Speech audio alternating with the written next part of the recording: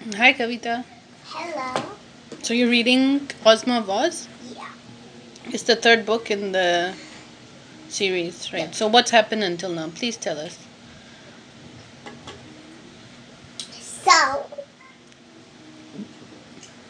at the very start, the, um, Uncle Henry was tired of taking care of the farm, so he had to go and Hired? tired of taking care of the farm, so he had to go on a vacation. He had to go on a vacation. Uncle Henry was tired of taking care of the farm, so he had to go on a vacation. And Aunt Em, Em had to take care of the farm. And Dorothy wanted to go with Uncle Henry, but there was a big, and they went on a cruise. So they went, and there was a big storm on the cruise on the ocean. But the captain said that there's nothing to worry about because he's been in many storms before and he can take care of it and he'll get them to their destination safely. So he told everybody to go in a room because if they were on the deck, they would get blown off the boat. So everyone went in the room and it was really dark in the room, so it was hard to see stuff. And Dorothy was not scared, but everyone was um, scared, and the children were screaming and crying. But Dorothy was not scared because of all the adventures she had in Oz and all the stuff that happened to her with the Wicked Witch and stuff. So, she fell asleep, and when she woke up, she noticed that Uncle Henry was not there, and she got scared that he went out on the deck and he could have got blown off the boat. But what she didn't know was that he just went to his room because he didn't like to be in that room full of people and screaming and stuff. He just went to his room to relax alone. So she went on the deck and she saw a figure which she thought was Uncle Henry. So she shouted as hard as she could to call for Uncle Henry, but even if it was him, he couldn't hear because she could barely even hear herself because of all the noise. So she moved towards that figure, but then the boat started moving and she was holding onto the railing really hard.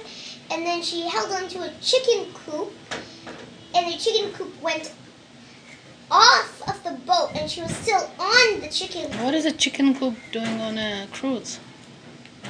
It wasn't really a cruise, it was a boat. But a big boat, which had a deck. Like a shipment boat, kind of. Okay. I think. I don't know. So she held onto the chicken coop, and then the chicken coop went off of the boat while she was holding on to it, and she was still on it when it went off of the boat. And she could see all of the chickens in the ocean, and they looked so suffering, and so she felt so sad for them. But she knew if she went off of the boat to help them, she would have drowned because of the waves. So, um, eventually the waves eased and it became nighttime, so she had to sleep, and her clothes got super, super drenched and wet. And then when she woke up in the morning, it was super beautiful. There was the waves, the rain, the wind, and it was like smooth waters and she noticed that in the corner of the chicken coop was another was one last chicken and when she asked the chicken what are you doing here to her surprise it actually responded and then she thought Wow. and then she thought I can't be in the land of Oz. The land of Oz is surrounded by deserts. There aren't any oceans there. But then how is this chicken talking?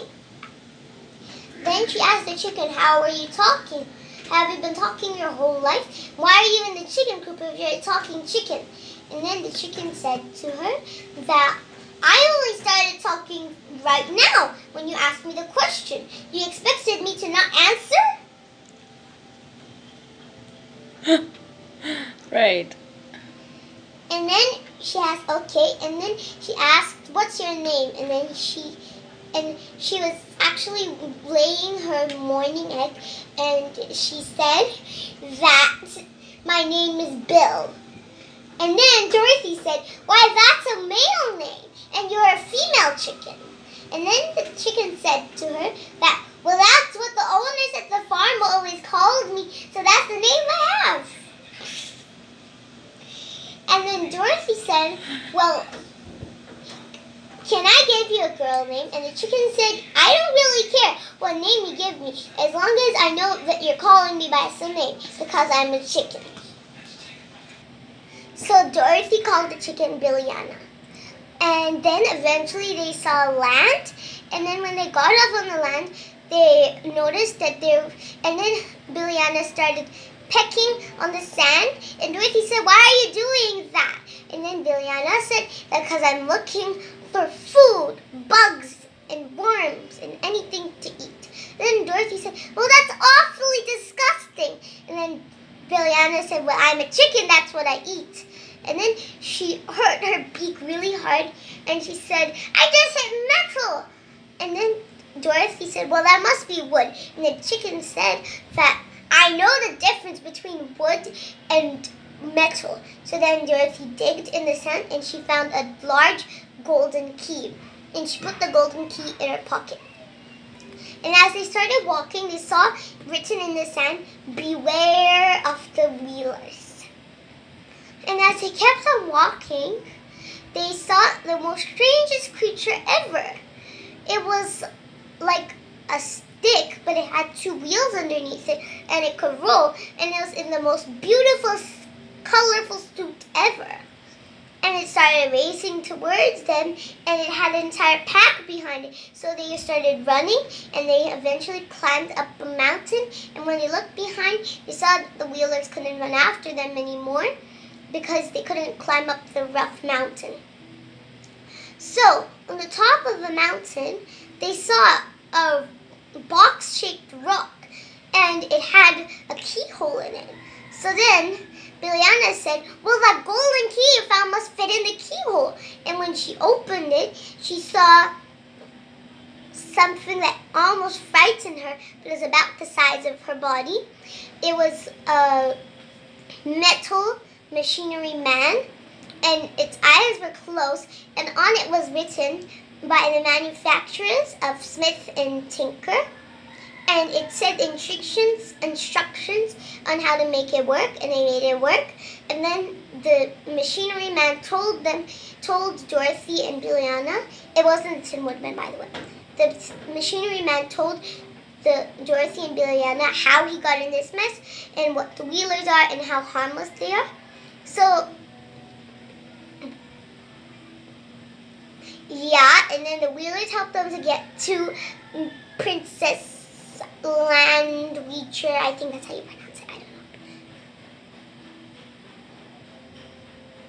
Part. Okay, for now, that's all I can say because we're running out of video time. And I'll meet you in part two to tell you the rest.